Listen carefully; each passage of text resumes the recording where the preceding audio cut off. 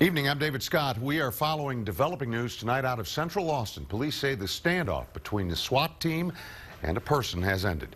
It happened on Red River near East 44th. Omar Lewis live on the scene tonight with the very latest. Omar?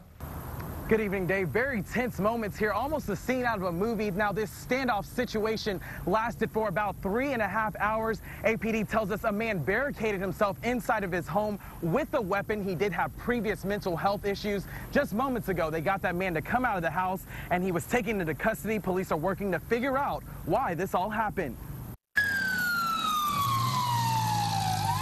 With the help of several other agencies, SWAT and bomb squads arrived here on the scene at the 4300 block of Red River. Police say around 1230 this afternoon, a woman flagged down an officer driving by. She asked for help, and that's when it all started. Now, police have not clarified if there were any hostages inside of that home. But after hours of negotiating and talking with the man, he did come out of the house and surrendered himself to police.